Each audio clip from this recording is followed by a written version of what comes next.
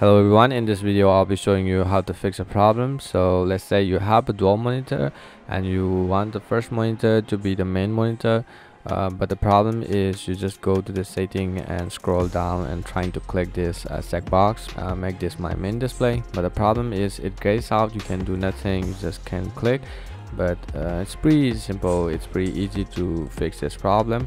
So it's pretty easy to make clickable. So in order to do that you just have to do is uh, it's pretty simple. All you have to do is first identify your monitor number or display number.